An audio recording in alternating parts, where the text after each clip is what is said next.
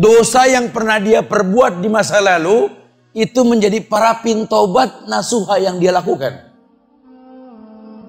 Benci dia untuk kembali ke masa lalu seperti bencinya kalau sampai Allah masukkan dia ke dalam neraka. Bukan malah bangga sama dosa. Ini kan yang terjadi banyak orang yang bangga dengan dosa. Ini yang paling bahaya ini. Ah, emang ada Ustaz orang yang bangga sama dosa Ya ada. Contohnya bagaimana Ustaz? No lihat no. Ada orang yang mesem-mesem habis pulang reuni. Ketemu teman masa lalu. Senyum aja dia. Ente senyum aja kenapa? Ingat dulu. Apa nih dulu apa nih? Dulu waktu masih SMA dulu nyolong bakwan di kantin nyolong bakwan dia ketawa. Itu yang dagang bakwan udah meninggal. Minta maafnya bingung, betul? Ruwet di padang masa ratusan tahun kita cari manusia urusan bakwan satu, betul? Kok bisa mesem dengan dosa di masa lalu? Atau mungkin perubahan yang kau rasa? Dulu waktu kau belum bertobat, batukmu saja temer nengok semua, betul? Pasar mana yang gak kenal dia? waktu dulu, betul ya? Lawang dia nggak datang, sendal dia pernah dipakai orang. Ada di depan parkiran motor. Wow, orang nggak ada yang macam-macam. Tumben nggak jahil, sendal siapa nih? Si Fulan. Ah. Tapi setelah dia bertobat, innalillah. Bahkan anak kecil pun seperti mencibir dia. Mencibir, cibir tahu? Ya, bukan kecipir lain lagi, lalap itu ya. Mencibir yang dimaksud nih, ya ini seakan-akan meremehkan dia. Aduh, Sat, sakit betul hati saya diremehin sama anak kecil, Sat. Aduh, kalau dia tahu siapa saya, tuh bangga sama dosa tuh. Bangga sama masa lalu. Seneng cerita, ah, kalau saya yang dulu sih. Kenapa? Ya aja gitu ya.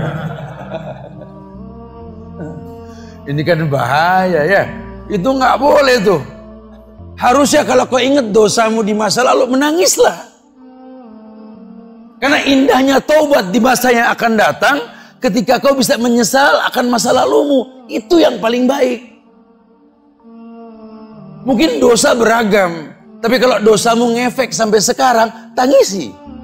Karena orang yang bertobat dalam Islam seperti orang yang sudah nggak berdosa.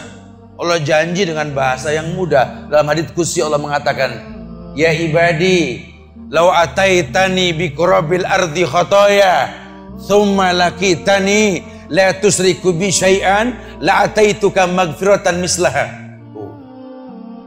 Janji Allah Allah yang bilang, Hei hamba-hambaku, kata Allah, lau ataitani, kalau kau mendatangiku, bi kurabil ardi khotoya, kau bawa dosa sebesar bumi yang kau pijak, seluas langit yang ada di atasmu. Kau datang, kau seret dosa tersebut menghadapku, kata Allah. Selama kau tak berbuat syirik, kau minta ampun kepadaku, ku datangkan ampunan sebesar dosa yang kau lakukan. Maka tidak mau dia kembali ke masa lalunya. Terserahlah dunia mau bilang apa, dia pengecut, dia WO dan lain sebagainya, terserah. Lebih baik ditalak sama dunia ketimbang ditolak sama akhirat. Betul? Ini yang membuat Umar bin Khattab gemeter kalau berdoa. Tamparan ke pipi adik yang sedang mengaji itu menjadi sesalan dari tangannya. Sehingga membuat dia semangat untuk membantai leher musuh-musuhnya di medan tempur. Karena dia tahu tangan ini pernah menampar orang yang baca Quran. Maka tidak mau dia ulang lagi ini tangan untuk menzolimi kebenaran. Dia pakai untuk sebuah kebaikan. Lakukan. Kalau dulu tangan ini pernah menyakiti orang, demi Allah, tuntun ibumu putari Ka'bah. Pegang tangan ini bu, pegang. Ini lampu hijau bu.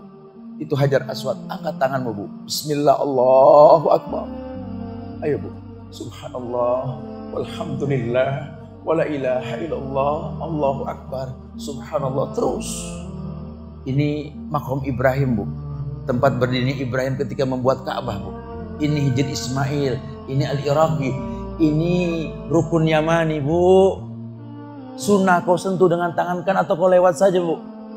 Yuk baca bu. Rabbana atina fid dunya hasanah wa fil akhirati hasanah wa qina adzabannar. Wallahi itu lebih baik ketimbang kau ulang dosa dengan tanganmu.